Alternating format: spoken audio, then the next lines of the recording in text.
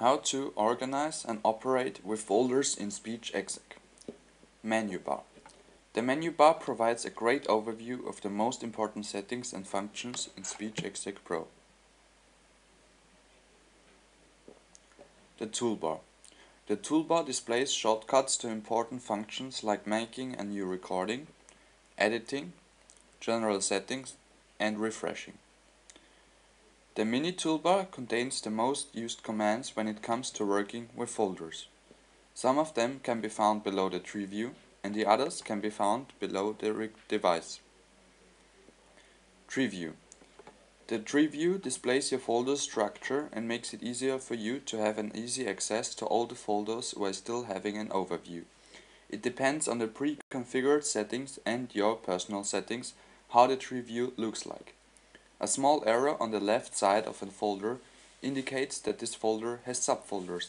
In order to see them, simply click on the arrow. Recorders. On your recorders panel, you can see if there is any recording device connected to your SpeechExec Dictate, and if so, its type is being shown. To view the content of the device, simply click on the device type. To manage your recorder, please click on the icon of the recorder settings.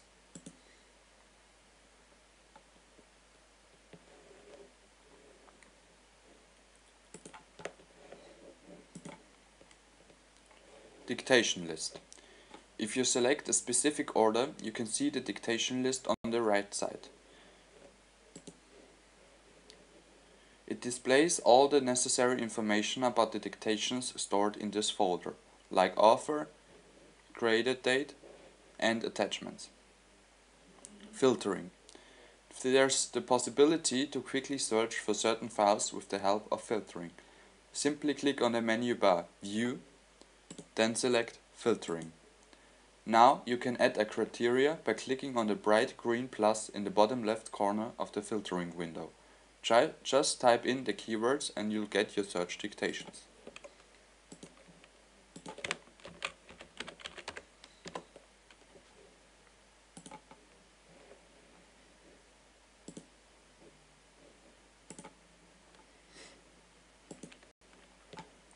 The status bar is located at the bottom of the window.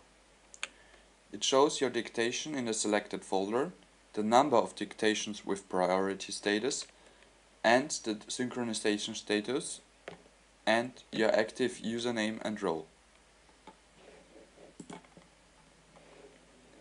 Folder operations.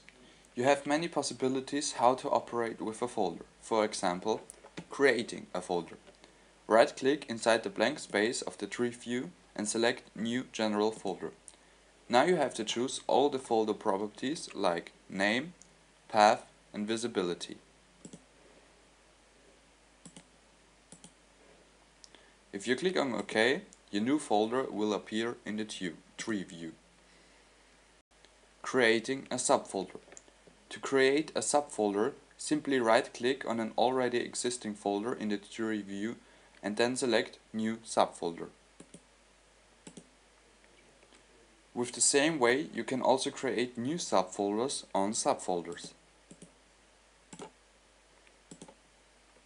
Note, to be able to create and view subfolders below existing folders, the Show Subfolders property of the respective folder must be set to Yes on Folders page in General Settings.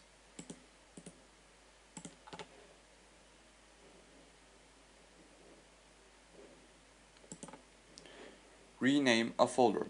Select the folder, right-click it and select Folder Properties. Now you can type the new name in the corresponding field and click on OK to save it.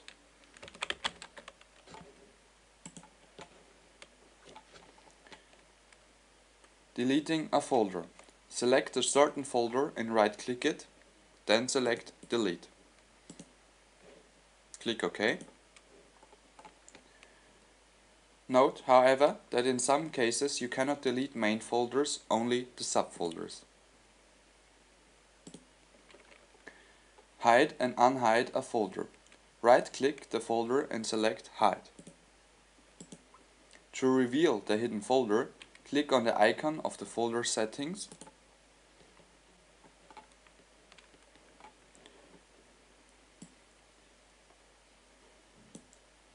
Then select the folder in the window and enable the visibility.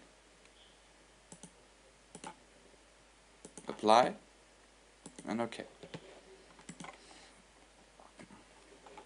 Drag and drop dictations. You can drag and move a dictation to another file by simply clicking on it and dragging it to the other file.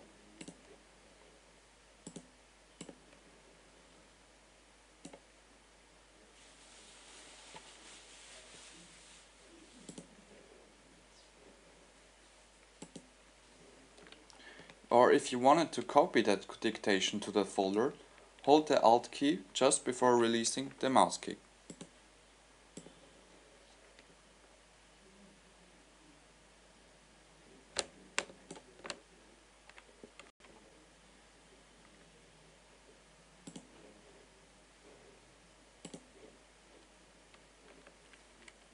Copying and moving dictations. Right click on the dictation file and select copy to uh, folder or move to folder. Tree view. There are two sections of the tree view. The first one is SpeechLive, the second one is Local Network. SpeechLive is a section where you need to have a SpeechLive account already configured and set up and network connection. The folders are named Archive, Finished and Suspended. For these three folders there is no possibility to create subfolders. Archive. When unarchiving a dictation file from the archive folder, the file is moved to the finished folder and its dictation state changes to transcription suspended. Finished. In this folder there are dictations located with the state transcription pending. Suspended. These are the dictations with the state suspended. Local network. Archive. There are dictations with the transcription finished state. This folder is hidden by default, but can be made visible. The folder create, creates each day a specific subfolder with the convention arc, underline, year, month and day of the dictations. Finished dictations. Dictations with the state transcription pending. Local work. The concept of the local work folder is easy to understand. You make a dictation and want that dictation sent to a network folder. But if SpeechExec has no connection to a network folder, it will work with the local work folder, meaning that every dictation which is recorded, finished and sent to SpeechLive is being sent to the local work folder and as long as there is no active internet connection, the dictation files remain in this folder. You can also send dictation files to the local work folder by yourself, if you know that in a few minutes you won't have internet access anymore. As soon as SpeechExec has access to a network again, it will automatically send your dictation files, which are located in the local work folder, to the actual folder you wanted to your dictations to be. The outbox. Dictations waiting to be sent per email. Send items. Dictations which have been successfully sent by email are moved here from the outbox folder. Suspended. Dictations with suspended state. Dictations are moved to the suspended folder when you click Save as Draft in the recorder window. Dictation folder types physical and virtual folders. A physical folder is a folder which you can actually see and find on your file system. This means that physical folders are directly tied to a folder on your computer. That means that they are physically present and that's why they're called physical folders. Examples are the pending dictations, suspended and finished dictations folder. A virtual folder, however, functions as a repository for files. You can see the virtual folder as a cloud, which is not connected to any file of your computer and is therefore hidden and cannot be seen. SpeechLive folders. SpeechLive is an internet-based file sharing solution. It provides an online file storage space and an easy way to share dictation files and related documents between SpeechExec users without requiring an expensive file service. SpeechLive folders are displayed under the My Speech SpeechLive node in the tree view.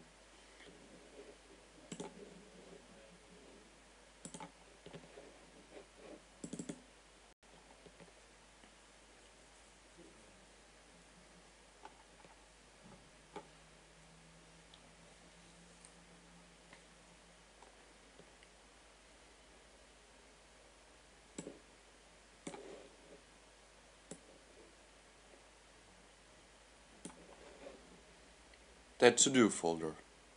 The To-Do folder can only be seen in SpeechExec Pro Transcribe. This folder organizes all input folders for the transcriptionist into one simulated overview folder.